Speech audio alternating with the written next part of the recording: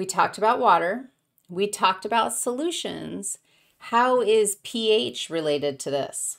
Well, pH is a measure of hydrogen ion concentration in a solution. Now, um, a couple things. First of all, I don't know if I've told you this yet, but when you put something in brackets, that can mean concentration of. So I often will abbreviate by saying, okay, let's talk about the concentration of sodium ions in your blood. Let's talk about the concentration of calcium ions in your blood. And I just shorthand it with those little brackets pH deals with hydrogen ions. Hydrogen ions are like the simplest thing possible. Remember, hydrogen was element number one. It consists of one electron and one proton. And if you make it into a positively charged ion, you just take away its electron. So all that's left is a proton. It's so important to manage the hydrogen ion concentration because it impacts the structure of pretty much all other biomolecules in your body. So we're going to talk about pH and and get a sense of um, what it actually is. Okay, so hydrogen ions, like where would these things even come from?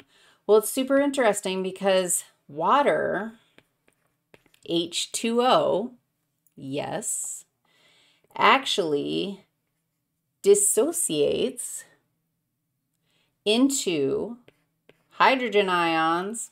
Hmm. And what would be left?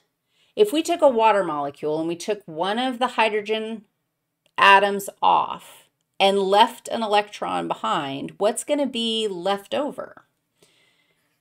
an OH that has a negative charge. This is called a hydroxide ion. And the hydrogen, the positively charged hydrogen is called a hyd hydrogen. it's a hydrogen ion. Sometimes, and this is why I this is why I couldn't talk.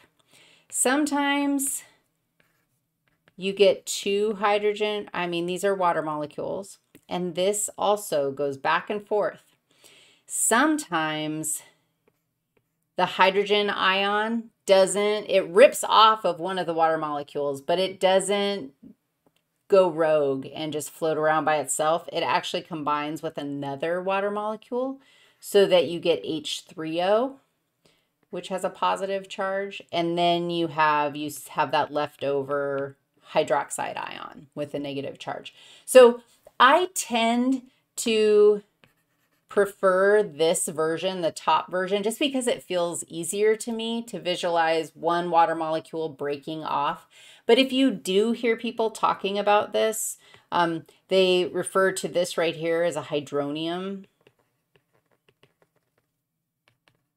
A hydronium ion.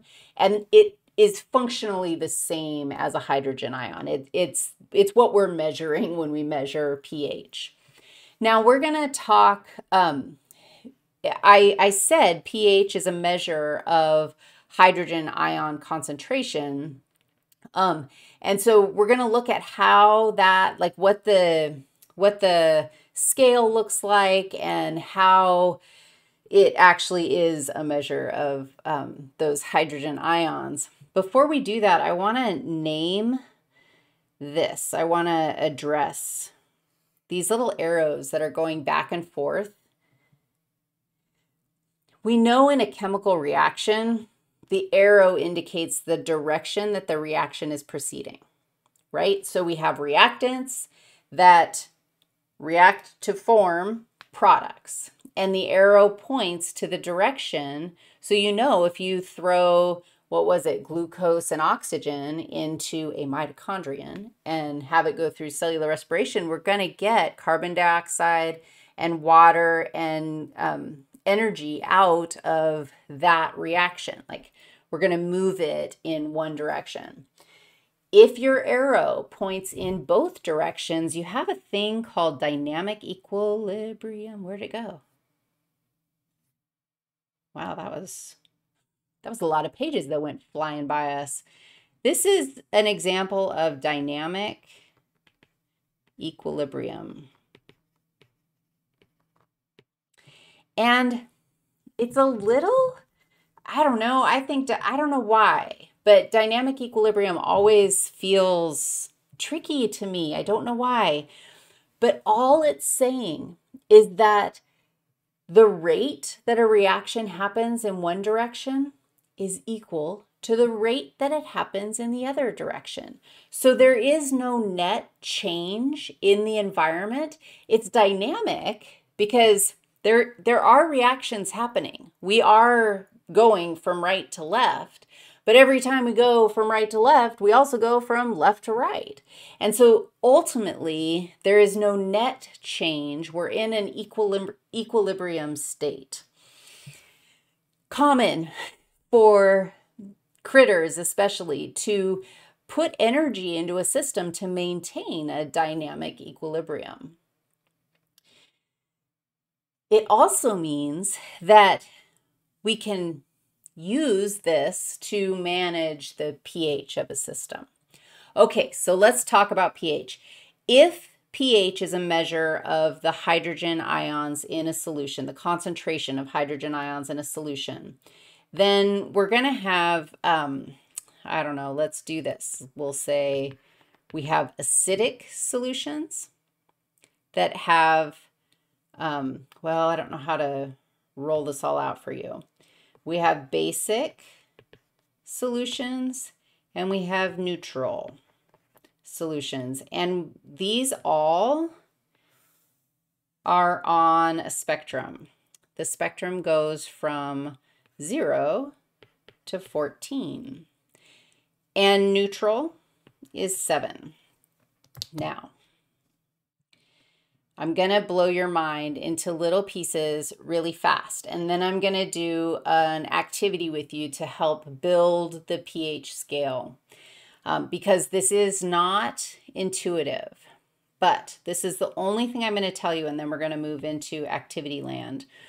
I'm going to tell you that acidic substances have high hydrogen ion concentration. And basic substances, what do you think? Have low hydrogen ion concentration. Does anybody want to um, mutiny, object? Do we have any objections to this? Because uh, the fact is that that is backwards, right? Like, wait a minute, why do I have to remember that a high hydrogen ion concentration is actually a low number and that's acidic?